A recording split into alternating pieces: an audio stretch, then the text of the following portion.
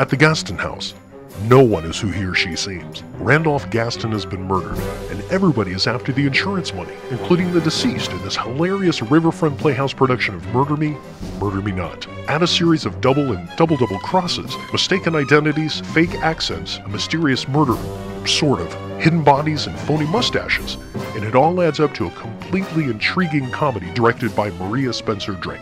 Murder Me, Murder Me Not, at the Riverfront Playhouse in Redding.